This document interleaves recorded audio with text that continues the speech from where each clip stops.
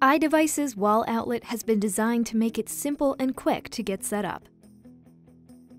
In a few short steps, you'll transform your wall outlet into a connected wall outlet. In the box, you will find the iDevices wall outlet installation guide, as well as a few wire nuts to help with your installation. To install, you will need a flathead screwdriver, a Phillips screwdriver, a voltage detector, and pliers. The iDevices wall outlet fits any standard size rocker faceplate, so you can select one that works best for your home. If the wires in your gang box differ from the installation described in this video, or you are unclear at any point of the installation process, please consult a qualified, licensed electrician iDevices wall outlet must be installed in a manner that conforms to all applicable national, state, and local building codes. Turn off the power to the circuit at your breaker or fuse panel. If you are replacing an existing outlet, verify that the outlet no longer has power before proceeding using a voltage detector. Now, unscrew and remove the faceplate from the existing outlet.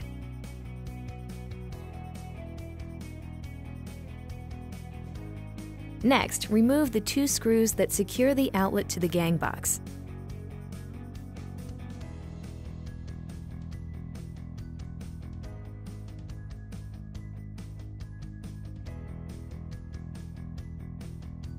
Carefully pull on the outlet to remove it from the gang box.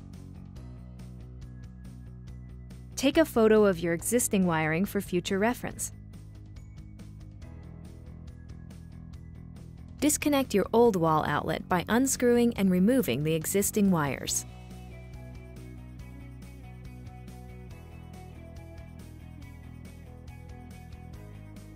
Wherever possible, install the iDevices wall outlet in a non-metallic gang box and use a non-metallic faceplate as metal gang boxes and faceplates can decrease the Wi-Fi signal strength.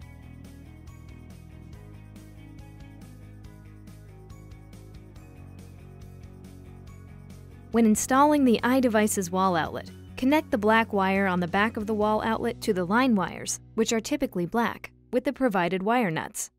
If there are multiple black wires, cap them all together. Next, connect the white wire on the iDevices wall outlet to the neutral wires, which are usually white, with the provided wire nuts. If there are multiple white wires, cap them all together. Lastly, Connect the bare copper ground wire on the iDevices wall outlet to the ground wire, which is usually copper or green in color. Ensure all wire nuts are securely fastened. Carefully push the wires into the gang box and install the wall outlet into the gang box, taking care not to pinch any wires. Secure the iDevices wall outlet into the gang box with the provided screws. It's best to start both screws before tightening to keep installation easy and ensure the outlet is straight.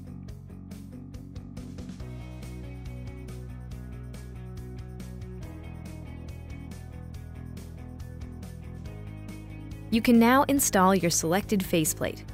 The iDevices wall outlet fits any standard size rocker faceplate, so you can select one that works best for your home.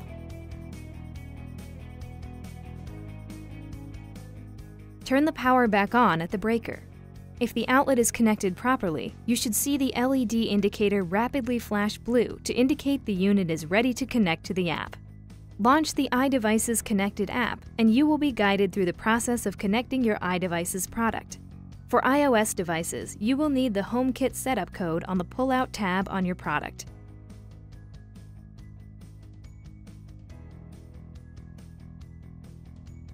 Congratulations! Your wall outlet is installed. You're now ready to connect to your wireless network. If you want to learn more about iDevices outlet or need additional help, head over to iDevicesinc.com/support.